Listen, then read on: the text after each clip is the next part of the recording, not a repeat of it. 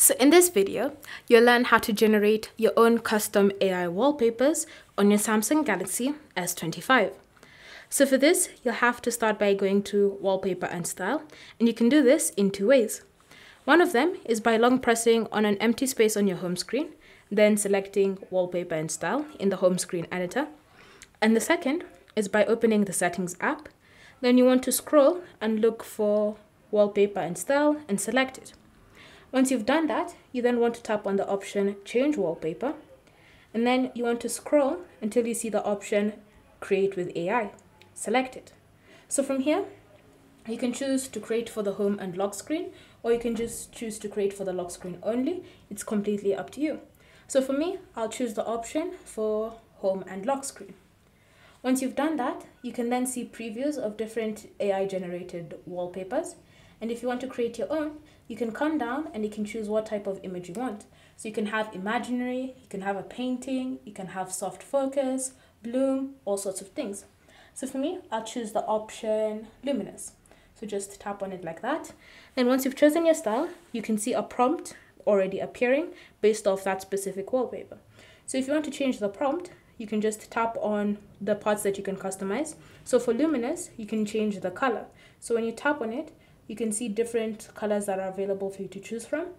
And then once you select a color, just tap on generate and you can see, wait for it to generate your own custom AI wallpaper.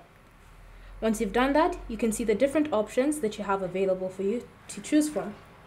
So all you need to do to set that as your wallpaper is just tap on set, confirm that you wish to set that as your wallpaper, and then you can now start customizing.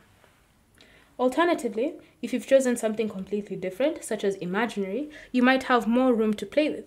So for example, here, I can choose to change what the image is about. So for example, I can switch it from a lamp to something like a lighthouse or a palace, completely up to me. So let me choose a car bicycle.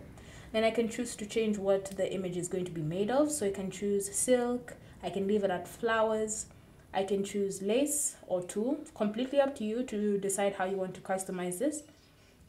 And then I can also choose to change the color. Once you've done all of these customizations, again, just tap on generate and wait for a generated image to appear.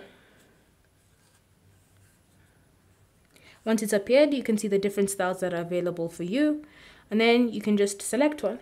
If you don't like the options that are there, just tap on generate again and it will produce other options for you to choose from. But once you found it, just tap on set, next, and then select done. Once you've done that, you can now see your newly edited AI generated wallpaper. You'll also notice on the wallpaper, there's this AI generated content tag, which means, which signifies to anybody who looks at your wallpaper that it's AI generated. And so that's how you can create your own custom AI wallpaper on your Galaxy S25.